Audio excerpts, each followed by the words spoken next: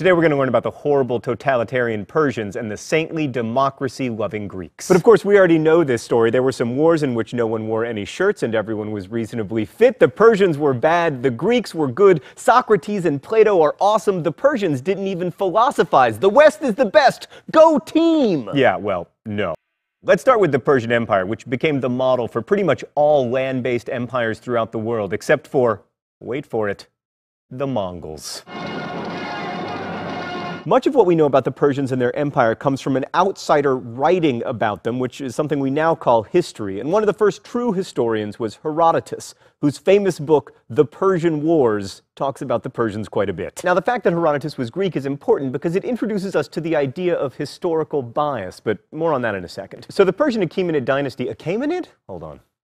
Achaemenid or Achaemenid. They're both right? I was right twice? Right, so the Persian Achaemenid or Achaemenid dynasty was founded in 539 BCE by King Cyrus the Great. Cyrus took his nomadic warriors and conquered most of Mesopotamia, including the Babylonians, which ended a sad period in Jewish history called the Babylonian exile, thus ensuring that Cyrus got great press in the Bible. But his son Darius I was even greater. He extended Persian control east to our old friend the Indus Valley, west to our new friend Egypt, and north to Crash Course newcomer Anatolia. By the way, there were Greeks in Anatolia called Ionian Greeks who will become relevant shortly. So even if you weren't Persian, the Persian Empire was pretty dreamy. For one thing, the Persians ruled with a light touch, like conquered kingdoms were allowed to keep their kings and their elites as long as they pledged allegiance to the Persian king and paid taxes, which is why the Persian king was known as the King of Kings. Plus, taxes weren't too high, and the Persians improved infrastructure with better roads, and they had this Pony Express like mail service of which Herodotus said, They are stayed neither by snow, nor rain, nor heat, nor darkness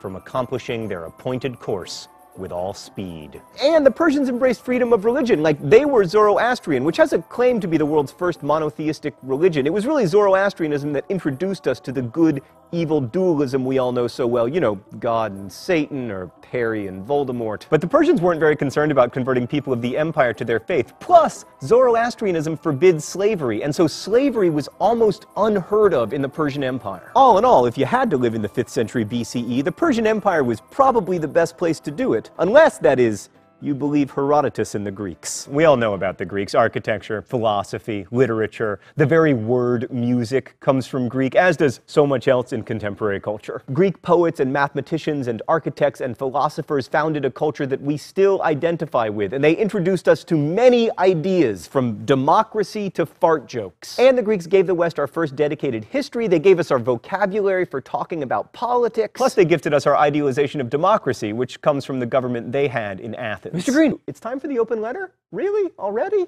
All right. An open letter, Stan, to Aristophanes. Dear Aristophanes. Oh, right, I have to check the secret compartment. Stan, what? Oh. Thank you, Stan. It's fake dog poo. How thoughtful. So good news and bad news, Aristophanes. 2,300 years after your death, this is the good news. You're still reasonably famous. Only 11 of your 40 plays survived, but even so, you're called the father of comedy. There are scholars devoted to your work. Now the bad news. Even though your plays are exceptionally well translated and absolutely hilarious, students don't like to read them in schools. They're always like, why do we gotta read this boring crap? And this must be particularly galling to you because so much of what you did in your career was make fun of boring crap, specifically in the form of theatrical tragedies. Plus, you frequently used actual crap to make jokes, such as when you had the chorus in the Acharnians imagining a character in your play throwing crap at a real poet you didn't like. You, Aristophanes, who wrote that under every stone works a politician, who called wealth the most excellent of all the gods. You, who are responsible for the following conversation. I want all to have a share of everything and everything to be in common. There will no longer be rich or poor. I shall begin by making land, money, everything that is private property common to all. But who will till the soil? The slaves. No. And yet you're seen as homework, drudgery. That, my friend, is a true tragedy. On the upside, we did take care of slavery. It only took us 2,000 years. Best wishes, John Green. When we think about the high point of Greek culture, exemplified by the Parthenon and the plays of Aeschylus, what we're really thinking about is Athens in the 4th century BCE, right after the Persian Wars. But Greece was way more than Athens. Greeks lived in city-states, which consisted of a city and its surrounding area. Most of these city-states featured at least some form of slavery, and in all of them, citizenship was limited to males. Sorry, ladies. Also, each of these city-states had its own form of government, ranging from very democratic, unless you were a woman or a slave, to completely dictatorial. And the people who lived in these cities considered themselves citizens of that city, not of anything that would ever be called Greece at least until the Persian Wars. So between 490 and 480 BCE, the Persians made war on the Greek city-states. This was the war that featured the Battle of Thermopylae, where 300 brave Spartans battled, if you believe Herodotus, 5 million Persians, and also the Battle of Marathon, which is a plain about 26.2 miles away from Athens. The whole war started because Athens supported those aforementioned Ionian Greeks when they were rebelling in Anatolia against the Persians. That made the Persian king Xerxes mad, so he led two major campaigns campaigns against the Athenians, and the Athenians enlisted the help of all the other Greek city-states. In the wake of that shared Greek victory, the Greeks began to see themselves as Greeks rather than as Spartans or Athenians or whatever. And then Athens emerged as the de facto capital of Greece and then got to experience a golden age, which is something that historians make up. But a lot of things did happen during the golden age, including the Parthenon, a temple that became a church and then a mosque and then an armory until finally settling into its current gig, as a ruin. You also had statesmen like Pericles, whose famous funeral oration brags about the golden democracy of Athens with rhetoric that wouldn't sound out of place today. If we look to the laws, they afford equal justice to all in their private differences. If a man is able to serve the state, he is not hindered by the obscurity of his condition. And when you combine that high minded rhetoric with the undeniable power and beauty of the art and philosophy that was created in ancient Athens, it's not hard to see it as the foundation of Western civilization. And if you buy into this, you have to be glad that the Greeks won the Persian Wars. But even if you put aside the slavery and other injustices in Greek society, there's still trouble. Do I have to say it? Seriously?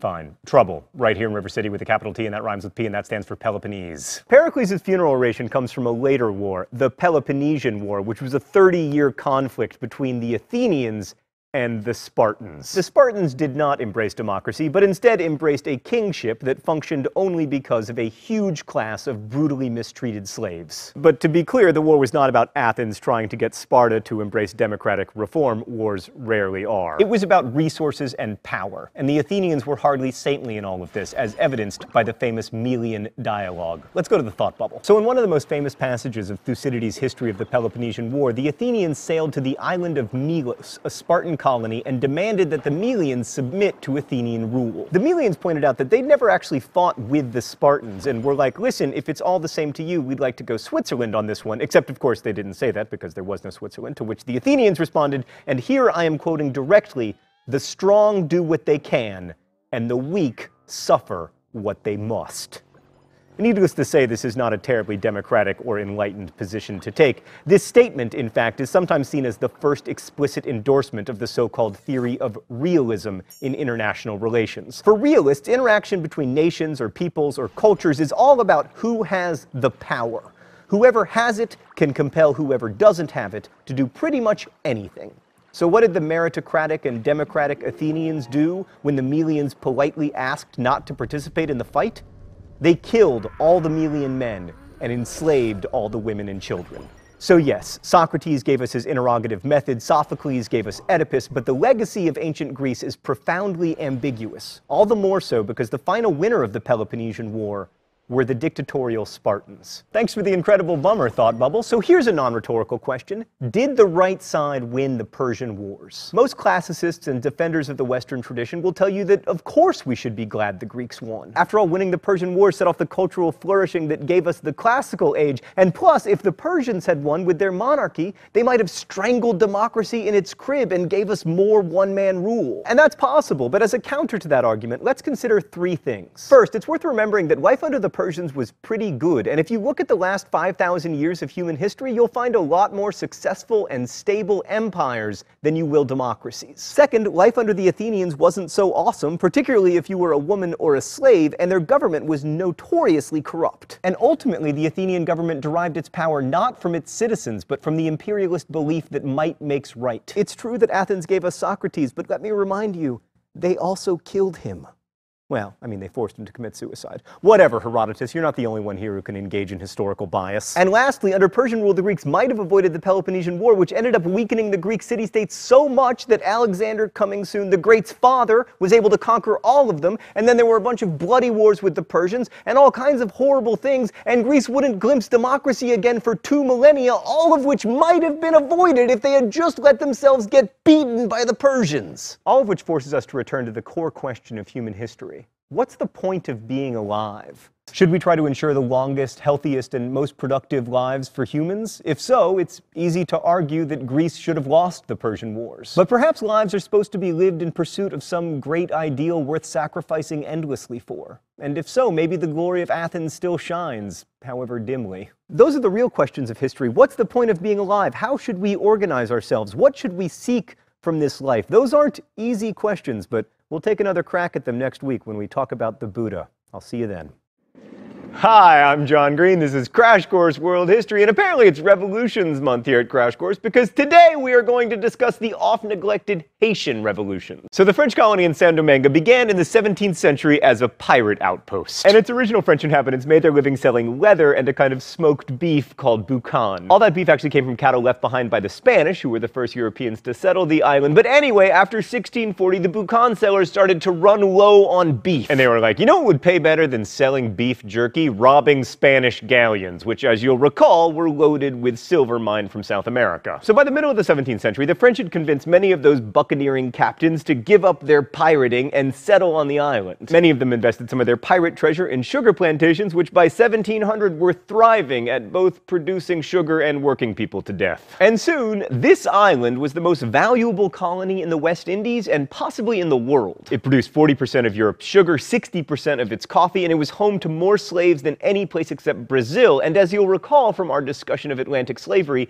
being a slave in a sugar production colony was exceptionally brutal. In fact, by the late 18th century, more slaves were imported to San Domingo every year, more than 40,000, than the entire white population of the island. By the 19th century, slaves made up about 90% of the population, and most of those slaves were African born because the brutal living and working conditions prevented natural population growth. Like, remember Alfred Crosby's fantastic line, it is crudely true that if man's caloric intake is sufficient, he will somehow stagger to maturity and he will reproduce? Yeah, well, not in 18th century Haiti, thanks to yellow fever and smallpox and just miserable working conditions. So most of these plantations were pretty large. They often had more than 200 slaves, and many of the field workers, in some cases a majority, were women. Colonial society in San Domingo was divided into four groups, which had important consequences for the revolution. At the top were the big white planters who owned the plantations and all the slaves. Often these Grand Blancs were absentee landlords who would just rather stay in France and let their agents do, you know, the actual brutality. Below them were the wealthy free people of color. Most of the Frenchmen who came to the island were, you know, men, and they frequently fathered children with slave women. These fathers would often free their children. Wasn't that generous of them. So by 1789, there were 24,800 free people of color, along with about 30,000 white people in the colony. The free people of color contributed a lot to the island's stability. They served in the militia and in the local constabulary, and many of the wealthier ones eventually owned plantations and slaves of their own. And then below them on the social ladder were the poor whites, or the petite blancs Blancs, who worked as artisans and laborers. And at the bottom were the slaves, who made up the overwhelming majority. I know what you're thinking. This is a recipe for permanent social stability. No, it wasn't. Okay, so when the French Revolution broke out in 1789, all these groups had something to complain about. The slaves obviously disliked being slaves. The free people of color were still subject to legal discrimination no matter how wealthy they became. And the poor whites, in addition to being poor, were resentful of all the privileges held by the wealthy people of color. And the Grand Blancs were complaining about French trade laws and the government's attempts to slightly improve the living and working conditions of slaves. Basically, they were saying that government shouldn't be in the business of regulating business. So everyone was unhappy, but the slaves were by far the worst off. Mr. Green, Mr. Green, you're always saying how much slavery sucks, but is it really any worse than having to work for like subsistence? Yeah, I'm gonna stop you right there, me from the past, before you further embarrass yourself. You often hear from people attempting to comprehend the horrors of slavery that slavery couldn't have been all that bad, and that it wasn't that different from working for minimum wage. And that we know this because if it had been so bad, slaves would have just revolted, which they never did. Yeah, well, one, equating slavery to poor working conditions ignores the fact that if you work at like Foxconn, Foxconn doesn't get to sell your children to other corporations. And two, as you're about to see, slaves did revolt. So the unrest in what became Haiti started in 1789 when some slaves heard a rumor that the King of France had freed them. Even though it was across the ocean, word of the changes in France reached the people of Haiti, where the Declaration of Rights of Man and Citizen, while terrifying to planters, gave hope both to free people of color and to slaves. At the same time, some Petit Blancs argued that there was inadequate discrimination against blacks. They identified with the Third Estate in France, and they called for interest rates to be lowered so they could more easily pay their debts, and they began lobbying for colonial independence. The psychology here shows you the extent to which slaves were not considered people. I mean, these radical Petit Blancs thought that they were the oppressed people in Saint Domingo because they couldn't afford to own slaves. And they thought if they could become independent from France, they could take power from the people of privilege and institute a democracy where everyone had a voice, except for the 95% of people who weren't white. Then in 1791, these radical Petit Blancs seized the city of Port-au-Prince. You'll remember that by 1791, France was at war with most of Europe, and just like with the Seven Years' War, the wars of revolutionary France played out in the colonies as well as at home. So the French government sent troops to Saint Domingue. Meanwhile, urges toward liberty, fraternity, and equality were only growing in France, and it didn't seem very equitable to grant citizenship based solely on race. So in May of 1791, the National Assembly gave full French citizenship to all free men of color. I mean, if they owned property and had enough money and weren't the children of slaves. The Petit Blancs weren't thrilled about this, and that led to fighting breaking out between them and the newly French free people of color. And then in August of 1791, the slaves were like, um, hi, yes, screw all of you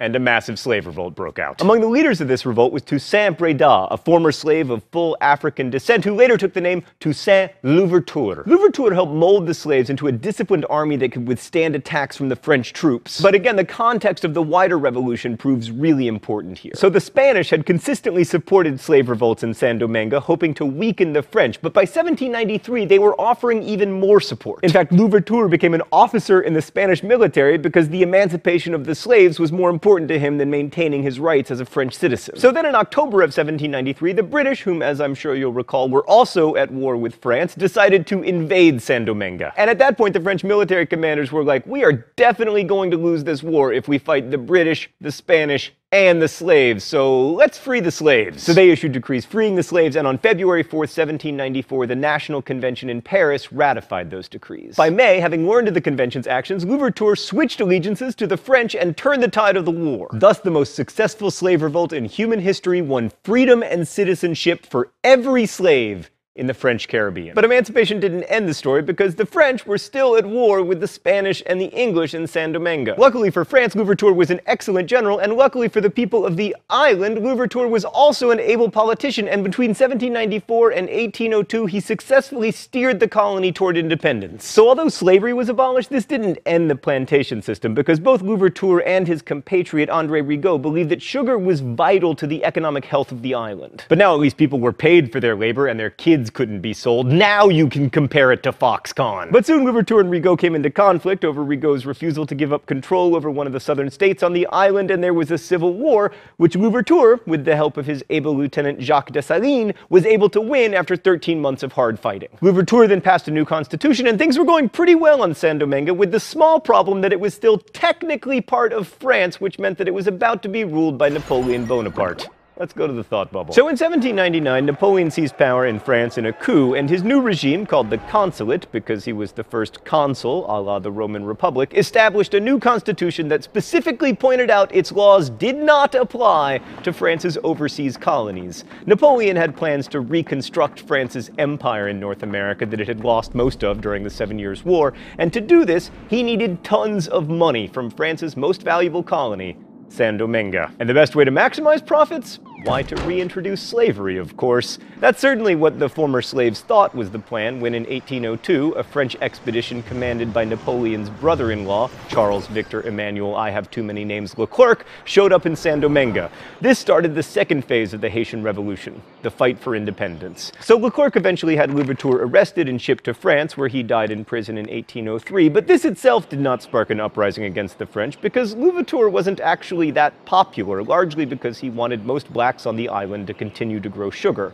Instead, the former slaves only started fighting when Leclerc tried to take away their guns, thus beginning a guerrilla war that the French, despite their superior training and weapons, had absolutely no chance of winning. Although the French were exceedingly cruel, executing women as well as men and importing man eating dogs from Cuba, the Haitians had the best ally of all disease, specifically in the form of yellow fever, which killed thousands of French soldiers including Leclerc himself. So continued defeat and the death of his troops eventually convinced Napoleon to give up his dreams of an American empire and cut his losses. He recalled all his surviving troops of the 40,000 who left, only 8,000 made it back, and then he sold Thomas Jefferson Louisiana. And that is how former slaves in Haiti gave America all of this. On January 1st, 1804, Dessalines, who had defeated the French, declared the island of Saint Domingue independent and renamed it Haiti, which is what the island had been called by native inhabitants before the arrival of Columbus. The Haitian Declaration of Independence was a rejection of France and to a certain degree of European racism and colonialism. It also affirmed, to quote from the book Slave Revolution in the Caribbean, a broad definition of the new country as a refuge for enslaved peoples of all kinds. So why is this little island so important that we would devote an entire episode to it. First, Haiti was the second free and independent nation state in the Americas. It also had one of the most successful slave revolts ever. Haiti became the first modern nation to be governed by people of African descent, and they also foiled Napoleon's attempts to build a big New World empire. Of course, Haiti's history since its revolution has been marred by tragedy, a legacy of the loss of life that accompanied the revolution. I mean, 150,000 people died in 1802 and 1803 alone. But the Haitian revolutions matter.